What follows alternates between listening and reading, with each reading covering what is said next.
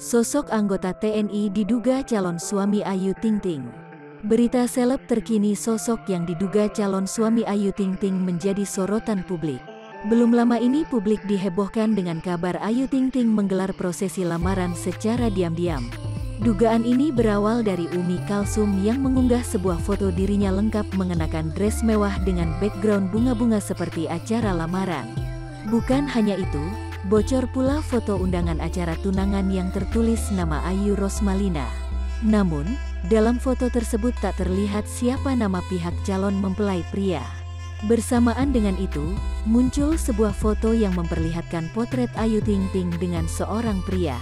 Melansir dari berbagai sumber, disebutkan bahwa calon suami penyanyi dangdut asal Depok tersebut bukanlah orang sembarangan. Pria tersebut diduga bernama Muhammad Fardana. Ia memiliki jabatan strategis di lingkungan Tentara Nasional Indonesia (TNI). Bukan hanya itu, pria yang disebut-sebut dekat dengan Ayu Ting Ting itu memiliki pangkat tinggi yaitu sebagai Letnan Kolonel, Letkol. Sosok ini berbeda dari profesi yang ditekuni Ayu Ting Ting yakni dunia hiburan, entertainment. Momen tunangan Ayu Ting Ting dengan anggota TNI berpangkat Letnan Kolonel, Letkol, belum lama ini viral di media sosial. Bahkan usai kabar tunangan berhembus, Ayu Ting Ting dikabarkan bakal segera melangsungkan pernikahan. Menanggapi kabar tersebut, Kepala Kua Depok masih belum menerima berkasnya. Selain itu, ada beberapa dokumen yang harus dipenuhi seperti surat-surat dari RW dan RT hingga kelurahan setempat.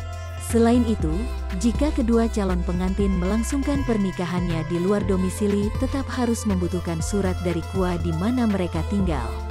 Sebelumnya Ketua RT di mana tempat tinggal rumah Ayu Ting Ting kawasan Sukmajaya, Depok, memastikan belum menerima surat permohonan pernikahan.